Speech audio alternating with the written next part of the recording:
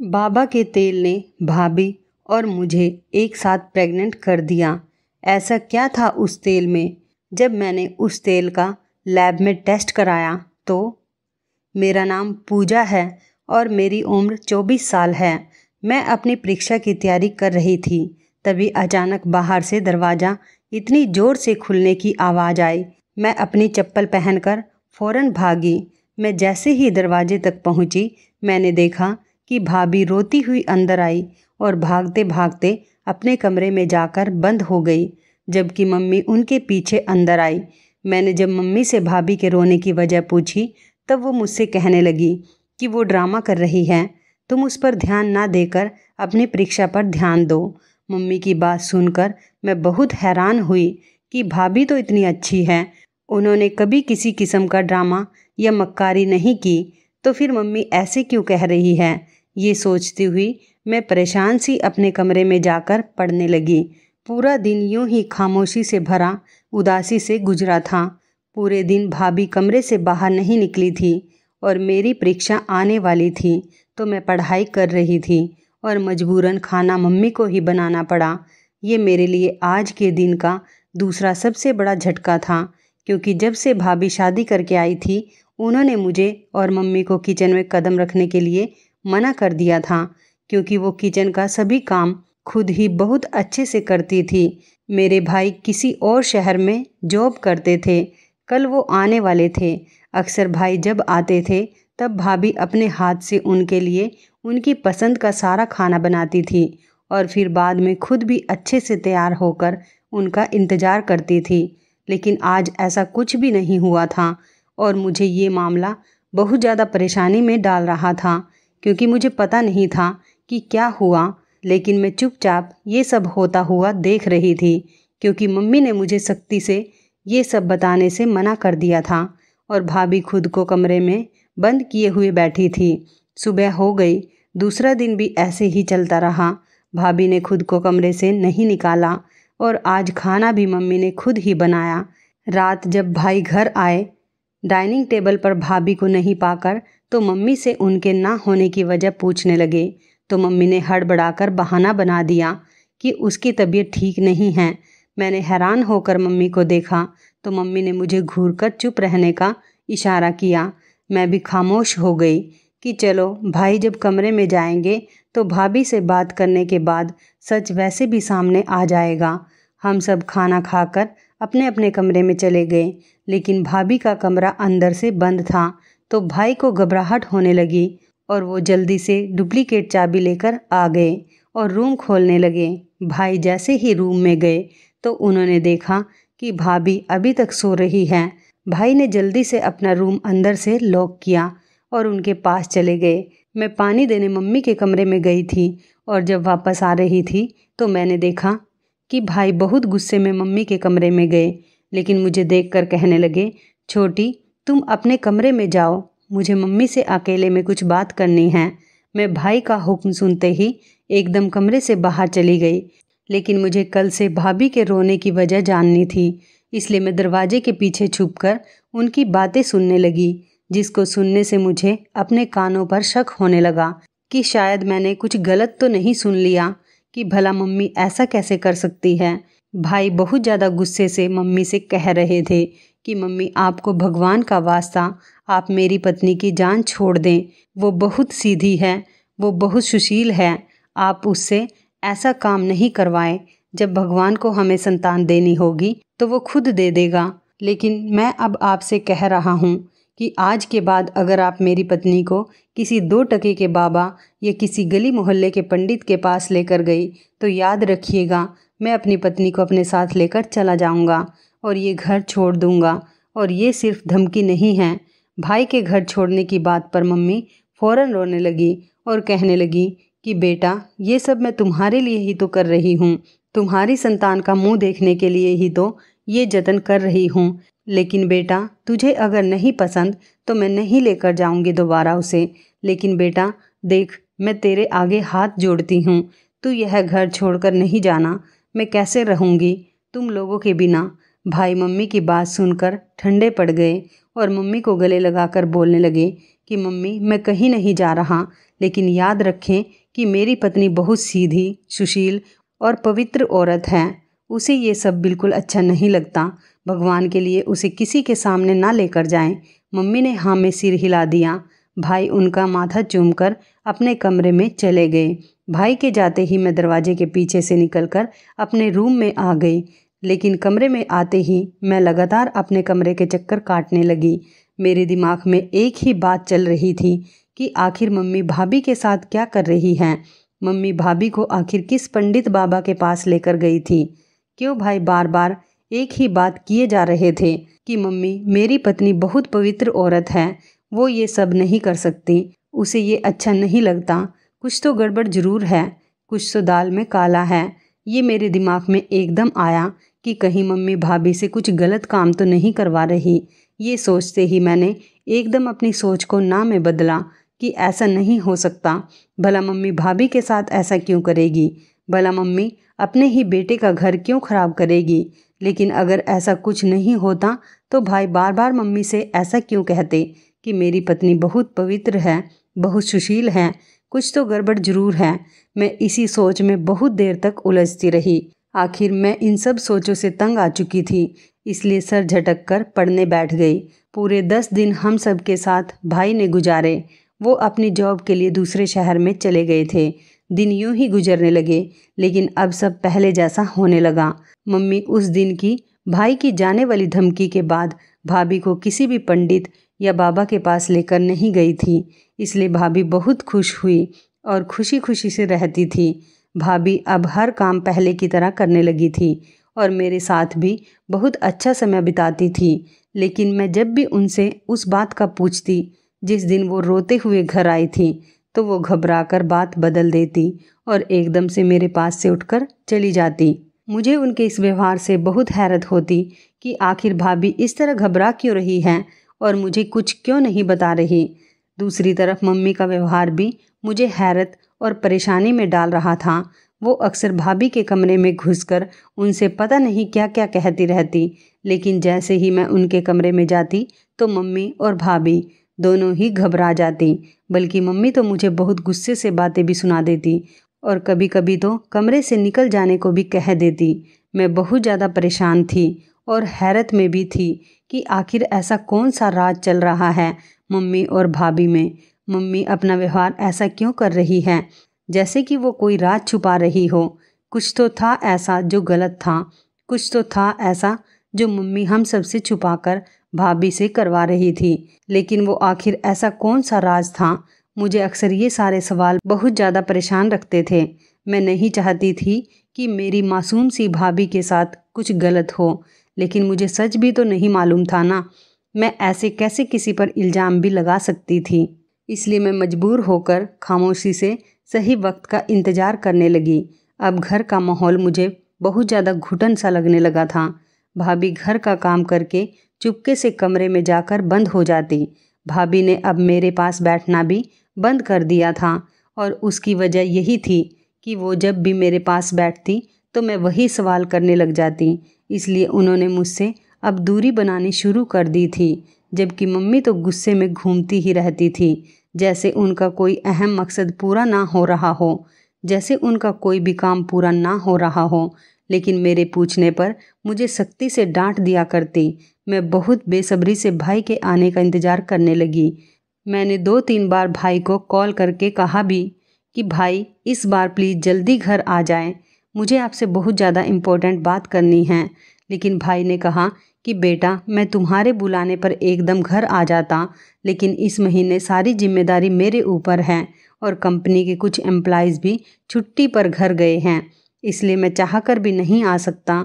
बेटा, बस कुछ दिन की ही तो बात है, फिर मुझे आ ही जाना है, फिर हम बैठकर आराम से बातें करेंगे। भाई की मजबूरी को देखते हुए मुझे चुपचाप रहना पड़ा। मैं चुपचाप भाई के आने का इंतज़ार करने लगी। एक दिन मम्मी के दोस्त मिठाई का डिब्बा हाथ में लिए, घर आए। मम्मी से मिलकर वो मम्मी की आँखों ही आँखों में कुछ इशारे करने लगी। मुझे उनकी ये हरकत बिल्कुल भी सही नहीं लगी, बल्कि उनकी सारी हरकतें बहुत ज़्यादा अजीब सी थी, जबकि मम्मी भी उनकी इस अजीब सी हरकत में उनका पूरा पूरा साथ दे रही थी, जबकि उनकी यही चीज़ मुझे चौंकने पर मजबूर कर रही थी। थोड़ी देर गुजरी, तभी भाभी नाश्ते से भरी ट्रे लेकर आई। भाभी ट्रे रखने के बाद उठकर जाने ही लगी थी। तभी मम्मी के दोस्त पूनम आंटी ने उनका हाथ ज़ोर से पकड़ लिया। भाभी ने उनको सवाल भरी नज़रों से देखा।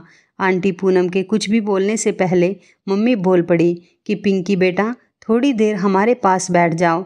मेरी फ्रेंड आपसे कुछ बात करना चाहती है। मम्मी और उनकी दोस्त बार बार नज़रों से बातें कर रही थी। और फिर उन दोनों के चेहरे की मुस्कुराहट मुझे किसी अनहोनी का पता दे रही थी। मुझ पर हैरत के पहाड़ टूट रहे थे।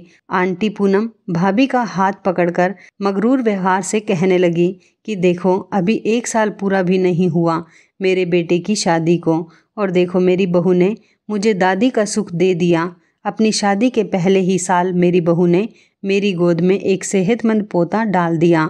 मैं तो बहुत ही खुशकिस्मत हूँ। आंटी पूनम का अंदाज कुछ ऐसा था कि जैसे वो भाभी को नीचा दिखाने की कोशिश कर रही हो। भाभी भी बेचारी सर नीचा करके सुन रही थी। वो और कर भी क्या सकती थी? इतनी ही देर में मम्मी की फ्रेंड बोल पड़ी। अब वो बकायदा भाभी से पूछने लगी, तुम्हारी शादी को तीन साल हो चुके हैं। तुमने कोई खुशखबरी नहीं सुनाई? अभी तक भाभी उनका सवाल सुनकर बहुत ज़्यादा दुखी हो गई थी। वो नज़रें झुकाए ना मैं सिर हिलाने लगी। आंटी पूनम फिर से भाभी का चेहरा छूकर कहने लगी कि बेटा, हो तो तुम बहुत खूबसूरत, कोई ऐप भी नज़र नहीं आता तुम में तो आखिर बात क्या है कि अभी तक तुम खाली दामन हो? फिर वो एकदम चेहरे पर हाथ रखकर कहने लगी, क्या तुम बांझ तो नहीं? उनका सवाल सुनकर भाभी रोने लगी और कहने लगी कि नहीं आंटी, ऐसा कुछ नहीं है। जब भगवान को मंजूर होगा, तब भगवान मेरी झोली ज़रूर भरेंगे। जबकि आंटी भाभी की बात सुनकर अपना चेहरा बुझाकर बोली कि बेटी, दुआ के साथ साथ दवा और दम फूक भी ज़रूरी है, लेकिन आजकल की नस्ल को कौन समझाए? उनकी बात सुनकर भाभी अपनी आँखों से आँसू साफ़ करके अपने कमरे में चली गई। आंटी भी मम्मी से मिलकर एकदम चली गई। आंटी पूनम के जाने के बाद भाभी थोड़ी देर में ही अपने कमरे से बाहर निकलकर मम्मी के पास आए। और अपने आँसू साफ़ करते हुए कहने लगी कि, मम्मी, मैं राज़ी हूँ उस बाबा के पास जाने के लिए। बस ये बात किसी भी तरह आकाश को पता ना चले। मम्मी मुस्कुरा कर कहने लगी, ये तो तूने बहुत अच्छा फैसला किया और भला मैं क्यों बताऊँगी अपने बेटे को? बल्कि तू ये ख्याल रखना कि किसी भी तरह ये बात उसके कानों तक ना पहुँचे। भाभी रोते हुए मम्मी से कहने लगी कि, बस मुझसे अब और बांझपन के ताने नहीं सहे जाते। बस इसीलिए मैंने ये फ़ैसला कर लिया। और आप बेफिक्र रहिए, मैं किसी भी तरह यह बात आकाश को पता लगने नहीं दूँगी। भाभी यह कहते हुए और रोते हुए दोबारा अपने कमरे में चली गई, जबकि भाभी के जाते ही मम्मी भी हंसती हुई अपने कमरे में चली गई। मम्मी का ये व्यवहार मुझे बहुत अजीब लगा, इसलिए मैं भी धीरे से मम्मी के पीछे जाकर उनके दरवाजे के पीछे खड़ी हो गई। मैं अंदर झांकने ही लगी थी कि मैंने सुना कि मम्मी कह रही थी कि, वाह पूनम, क्या एक्टिंग की है तूने? देख तेरा नाटक काम आ गया। तेरे जाते ही मेरी बहू मेरे पास आई और वो करने के लिए राज़ी हो गई, जिसके लिए शायद मैं उसे कभी राज़ी नहीं कर सकती थी। देख पूनम, तेरी एक चाल में ही मेरी बहू इस बाबा के पास जाने के लिए तैयार हो गई। अरे मुझे तो अभी तक यकीन नहीं आ रहा कि मेरी बहू उन बाबा के पास जाने के लिए मान गई है। मम्मी खुशी खुशी बोली जा रही थी, लेकिन मुझे ऐसा लग रहा था कि मैं अब और यहाँ खड़ी रही तो मैं अभी चक्कर खाकर गिर जाऊँगी। मेरे लिए यही सोचना ही जान का बवाल था कि मम्मी ने किस तरह भाभी को अपने इस घिनौने जाल में फंसाया था। भला मम्मी ऐसे कैसे कर सकती है? मैं यही सब सोचने में मगन थी। जब मुझे मम्मी के कदमों की आवाज़ सुनाई दी, मैं जल्दी जल्दी उनके दरवाजे से निकलकर एकदम अपने कमरे में आ गई। मम्मी भाभी के कमरे में जाकर भाभी से बोली कि कल शाम को तैयार रहना, हम पाँच बजे बाबा के पास चलेंगे। मम्मी और भाभी तो रात का खाना खाकर अपने अपने कमरों में जाकर सो गई। लेकिन ना तो मुझसे खाना खाया गया और ना ही मुझे पूरी रात नींद आई। मैं पूरी रात बिस्तर पर करवटें बदलती रही और बस यही सोचती रही कि आखिर कल मम्मी भाभी के साथ क्या करने वाली हैं? आखिर वो क्या करवाना चाहती है भाभी से? इन्हीं सोचों में मेरी आँख कब लग गई? मुझे पता ही नहीं चला। देर रात से सोने की वजह से सुबह मेरी आँख बहुत ज़्यादा लेट खुली थी। मैं जल्दी जल्दी उठकर बाहर भागी। मुझे ये सोच परेशान कर रही थी कि कहीं मम्मी भाभी को लेकर चली तो नहीं गई, लेकिन जब मैं गई तो मैंने देखा कि भाभी वहीं हैं। ऐसी ही टेंशन में वक्त गुजरता गया। शाम हो गई। शाम को मैंने देखा कि भाभी तैयार खड़ी हुई, मम्मी का इंतज़ार कर रही है, जबकि मम्मी पता नहीं किस से अंदर अपने कमरे में बातें कर रही थी। थोड़ी देर बाद मम्मी बाहर आई और भाभी से कहने लगी अब तुम्हारे जाने की कोई ज़रूरत नहीं है। तुम अपने कमरे में जाओ। मम्मी की ये बात सुनकर भाभी खुशी खुशी अपने कमरे में चली गई। मुझे ये जानकर बहुत हैरानी हुई। आखिर मम्मी ने क्यों अपनी खुद की चाल बेकार जाने दी? फिर मैंने सोचा कि शायद मम्मी के दिल में भगवान का डर आ गया हो। मैं खुश होकर अपने कमरे में चली गई। लेकिन कुछ देर बाद मैंने देखा कि मम्मी एक बड़ी सी पोटली उठाए, घबराते हुए बाहर की तरफ़ जा रही थी। मैंने मम्मी से पूछा कि आप इस तरह कहाँ जा रही हैं? तो मम्मी फ़ौरन से गुस्से में बोली कि मैं तुम्हें जवाब दूँगी, तुम मेरी बेटी हो, ना कि मैं तुम्हारी। इसलिए चुपचाप अपने कमरे में जाओ, मैं थोड़ी देर में आ जाऊँगी। मैं मम्मी का यह व्यवहार देखकर बहुत हैरान हुई और फिर चुपचाप किचन में जाकर अपने लिए चाय बनाने लगी। चाय बनाने के बाद मैं वहीं बाहर बैठकर पीने लगी। अभी मैंने दो चार घूट पिए ही थे कि मैंने देखा कि मम्मी जल्दी जल्दी दरवाज़ा खोलकर अंदर आई, दरवाज़ा अंदर से बंद किया और सीधे भाभी के कमरे में चली गई। मैं भी अपनी चाय वहीं छोड़कर उनके पीछे भाभी के कमरे में चली गई। मम्मी ने अपने दुपट्टे से एक बोतल खोलकर भाभी को दी। वो कहने लगी कि बाबा ने ये तेल दिया है और वो कह रहे थे कि यह तेल उन्होंने बांझ औरतों के लिए तैयार किया है। न जाने कौन कौन सी जड़ी बूटियों से बनाया है ये तेल। बाबा कह रहे थे कि तुम्हें रोज़ाना ये तेल अपने पेट पर लगाना है। देखना कि तुम कुछ दिन में ही गर्भवती हो जाओगी। और सबसे अहम बात यह है कि बाबा जी ने इस तेल पर मंत्र पढ़कर फूके हैं। वो कह रहे थे कि अगर किसी का पति नामर्द हो, तब भी उसकी पत्नी ये तेल लगाने से गर्भवती हो जाएगी।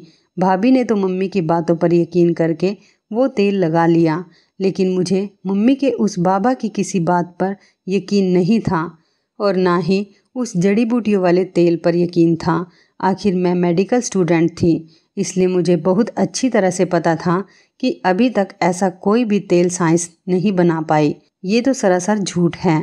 ऐसा कैसे हो सकता है? मैं ये सब सोच ही रही थी कि तभी भाई के ज़ोरदार नमस्ते करने की आवाज़ से मैं होश में आई और खुशी से उनके गले में झूल गई। भाई मुझसे पूछने लगे कि तुम क्या बात करना चाहती थी, लेकिन मैंने बहाना बनाकर उन्हें टाल दिया कि बस मुझे आपसे मिलने का दिल कर रहा था। इसलिए मैंने ये सब कहा था। अब घर का माहौल खुशगवार हो गया था। मम्मी भाई से छुपकर वो तेल रोज़ रात को भाभी को लगा रही थी और भाभी भी चुपचाप से वो तेल लगवा लेती थी, क्योंकि वो भी माँ बनना चाहती थी। एक दिन भाभी खुशी से मम्मी के पास आई और कहने लगी कि मुबारक हो मम्मी, आप दादी बनने वाली हैं। मम्मी खुशी से भाभी को गले लगाकर उनके कान में धीरे से बोली, देखा बाबा जी के तेल का करिश्मा। भाभी ज़ोर ज़ोर से हाँ में सिर हिलाने लगी, लेकिन मेरे लिए यकीन करना बहुत ज़्यादा मुश्किल था। भला ऐसे कैसे हो सकता है? इसलिए भाभी के कमरे में गई और वो तेल चुपके से अपने दुपट्टे में छुपाकर अपने कमरे में चली आई। अब मैंने मम्मी और भाभी से छुपकर वो तेल इस्तेमाल करना शुरू कर दिया और एक दिन मेरे साथ भी कुछ ऐसा हुआ जिससे मेरी आँखें बाहर को आ गई। मुझे लगा, मेरे सर पर आसमान गिर गया हो। जैसे मुझे अपने पैरों पर खड़ा रहना मुश्किल हो चुका था, क्योंकि मैं सच में गर्भवती हो चुकी थी। यकीन नहीं कर पा रही थी कि सिर्फ़ एक तेल की बदौलत ये कैसे मुमकिन था। इसलिए अगले दिन यूनिवर्सिटी जाते हुए मैं वो तेल की बोतल भी अपने साथ ले गई और यूनिवर्सिटी पहुँचते ही मैं सीधा लैब में गई और वहाँ के डीन से बात करके चार पाँच एक्सपर्ट टीचर की निगरानी में उस तेल का टेस्ट करवाया। टेस्ट में जो राज मेरे सामने आया तो उसने मुझे हैरान कर दिया। मैं अपनी सोचने समझने की शक्ति भूल चुकी थी। मैं हैरत से दंग बस उस तेल को देखे जा रही थी। मैं जल्दी से वो तेल पकड़कर अपने घर भागी। मेरा नाम पूजा है। मैं एमबीबीएस पढ़ रही थी। हम दो बहन भाई हैं। मेरे पिताजी छः साल पहले इस दुनिया से चले गए। मेरे भाई की शादी मेरे पापा के दोस्त की बेटी से हुई थी। गर्भवती होने के बाद जब मैं तेल टेस्ट करवाने के लिए लैब पहुँची तो मुझे मालूम हुआ कि वो सादा सा गोले का तेल है। इसमें किसी भी तरह की कोई जड़ी बूटियाँ या कोई और दवाई शामिल नहीं है। इस बात ने मुझे बहुत हैरान कर दिया। इसलिए मैं तेल पकड़कर जल्दी से यूनिवर्सिटी से बाहर निकली। यूनिवर्सिटी से मैं सीधा हॉस्पिटल आए और सीधा अपने टेस्ट करवाए। टेस्ट की रिपोर्ट पढ़ते ही डॉक्टर मुझसे कहने लगी कि फ़ूड पॉइजनिंग की वजह से आपको लगातार उल्टियाँ आ रही हैं। ये सुनकर मैं अंदर ही अंदर बहुत ज़्यादा शर्मिंदा हुई कि एक पढ़ी लिखी लड़की होने के बावजूद भी मैं इन बातों पर कैसे यकीन कर सकती थी। डॉक्टर के बताने के बाद और उनके इंस्ट्रक्शन लेकर मैं घर वापस आ गई और आते ही भाई के सामने मम्मी और भाभी को बुलाकर इस तेल की सच्चाई बताने लगी। मम्मी तो ये सब सुनते ही सदमे में चली गई। जबकि भाभी रोते हुए कहने लगी कि मुझे तो पहले दिन से वो बाबा कोई फरेबी लगता था। जब मैं पहली बार उनके पास गई तो वो शख्स कभी मेरे हाथ पकड़ लेता तो कभी मेरे कंधे पर अपना बाजू रख देता। मैंने मम्मी को ये सब बताया, लेकिन मम्मी ने मेरी बात का यकीन नहीं किया। मम्मी का भरोसा टूटा तो वो रोते हुए कहने लगी कि मैं तो अपने बेटे की संतान देखने की खातिर इतनी अंधी हो गई थी। कि उस फरेबी की पहचान नहीं कर सकी। यह मामूली सा तेल उसने मुझे तीन तोले सोना और दो लाख रुपए लेकर दिया। मम्मी रोते हुए अपना माथा पीटने लगी। आखिर मैंने ये क्या कर दिया? हाय मेरी दौलत! और मैं अफसोस से माँ को देखने लगी। भाई ने एकदम उस ढोंगी और फरेबी बाबा के खिलाफ पुलिस में रिपोर्ट दर्ज करवाई, क्योंकि उस बाबा के खिलाफ पहले भी बहुत सारी रिपोर्ट दर्ज थी, इसलिए अगले ही दिन उस ढोंगी बाबा को गिरफ़्तार कर लिया गया और उसका ठिकाना भी बंद कर दिया गया। भाई, उस बाबा का अंजाम बताकर बस इतना बोले कि, मम्मी, अगर इस दुनिया में कोई पत्ता भी हिलता है तो वो भी मेरे भगवान की मर्ज़ी से। इसलिए भगवान पर यकीन करने से हर चीज़ मिल जाती है, लेकिन उसके लिए सब्र करना ज़रूरी है। काश आपने भी भगवान पर यकीन किया होता और सबसे काम लिया होता। तो आज आप अपनी सदियों की जमा पूंजी लुटा कर बैठी ना होती। मम्मी ने रोते हुए हाँ में सिर हिला दिया। शायद भाई की बातें समझ में आने लगी थी। तो इस कहानी के बारे में आपकी क्या राय है? कमेंट करके ज़रूर बताइएगा। दोस्तों, आपको हमारी ये मज़ेदार कहानी कैसी लगी? आप हमें कमेंट बॉक्स में ज़रूर बताएँ। यदि आपके पास भी ऐसी कोई प्यारी सी कहानी है या फिर ऐसी कोई कहानी जिससे कुछ शिक्षा मिले तो आप हमारे साथ उसको ज़रूर शेयर करें। दोस्तों, यदि आपको हमारी ये वीडियो अच्छी लगे तो आप हमारी इस वीडियो को लाइक शेयर ज़रूर करें और ऐसी ही दिल को छू लेने वाली, प्रेरणादायक कहानियाँ सुनने के लिए हमारे चैनल को भी सब्सक्राइब करें। यदि आप हमें फेसबुक पर देख रहे हैं तो आप हमारे फेसबुक पेज को लाइक और फॉलो ज़रूर करें। तो दोस्तों, फिर मिलते हैं ऐसी ही ज़बरदस्त कहानी या टिप्स के साथ नई वीडियो में। तब तक के लिए आप सभी का धन्यवाद। आप सभी अपना ख्याल रखना। आपका दिन शुभ व मंगलमय हो।